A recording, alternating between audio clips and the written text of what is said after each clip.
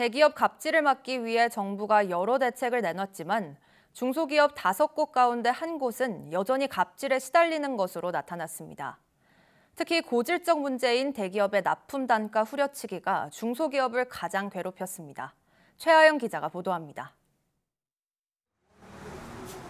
대기업 계열 렌터카 회사와 직접 계약을 맺고 10여 년 동안 파손된 자동차 유리를 수리해온 A씨. 그런데 지난해 말 렌터카 회사에서 비용 절감을 이유로 돌연 중개업체를 내세웠습니다. 중개업체를 통해 일감을 수주하면서 A씨가 받는 유리 단가는 40%나 깎였습니다.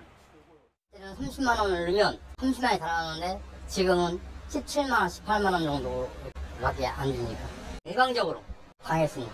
그렇게 해서 아주 많이 힘들었습니다.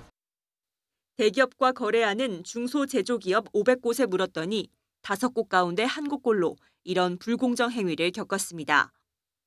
중소기업이 겪은 가장 흔한 갑질은 대기업의 납품 단가 후려치기였습니다.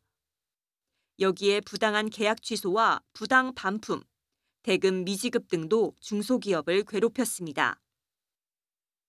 하지만 중소기업 절반 이상은 대기업 횡포에 아무런 대응도 하지 못한 것으로 나타났습니다.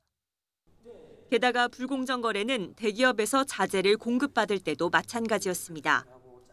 대기업에서 원 부자재를 구매한 기업 270여 곳 가운데 19%가 불공정 행위를 경험했고 부당한 공급 단가 결정이 가장 많았습니다. 그럼 이런 갑질을 막기 위해 어떤 대책이 필요한지도 물었습니다. 중소기업 66%는 중소기업의 협상력 강화 등 납품 단가 제값받기 환경 조성을 가장 원했습니다.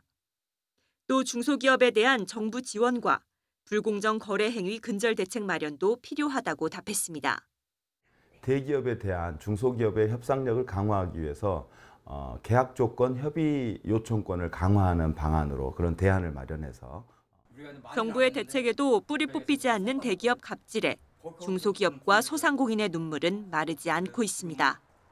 YTN 최아영입니다.